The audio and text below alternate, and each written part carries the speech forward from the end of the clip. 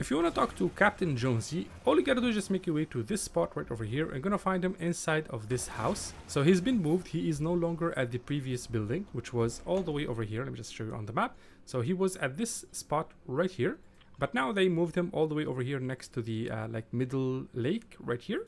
You can just go ahead and talk to him. He's gonna offer the same services. So this is your location, and you can get the Captain America's shield from him for 300 gold. You can get the Monarch pistol for 300 gold. You can get healed up, or you can just ask him about random stuff like Doom, the Hope, and the Oracle. And yeah, that's it.